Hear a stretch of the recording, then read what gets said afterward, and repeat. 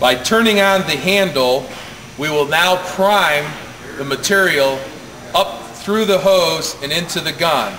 By doing so, by turning this on, the material pump will start to activate and start pumping up and down. Allow this to pump up and down until you notice material exiting the mixing nozzle. At that point, you will then shut the material valve in the off position.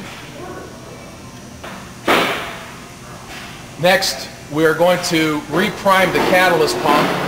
At this time, it turned on. With the material primed, we're now going to go back to the catalyst pump and we're going to hand pump the catalyst until the gauge starts to read pressure. Once the gauge reads about 200 to 300 pounds, we're going to stop, bring the drive arm up, and reconnect it to the drive arm of the material pump. You want to show the pump? You want to show the with we are now ready to dispense material. The material gun handle is in the off position.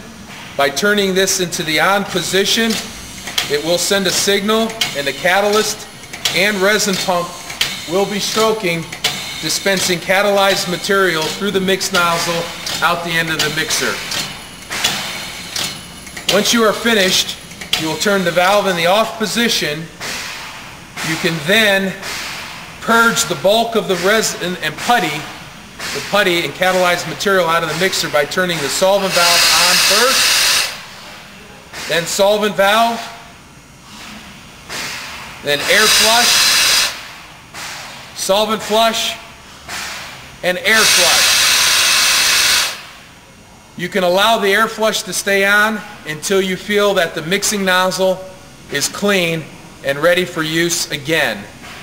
This is a short time uh, solvent flush so that way you're ready to use it for the next time which could be in another you know five to ten minutes.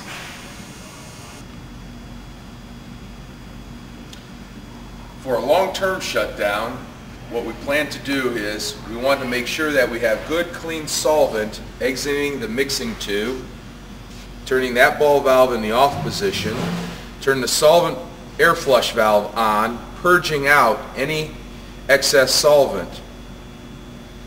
We come down at the end, make sure that the threads are clean, and a couple of turns of the nightcap, then come back to the solvent valve, turning the solvent valve on to see a little bit of solvent ooze from the thread area. Once you see that solvent exiting, screw the nightcap all the way down, come back to the solvent valve and turn it in the off position.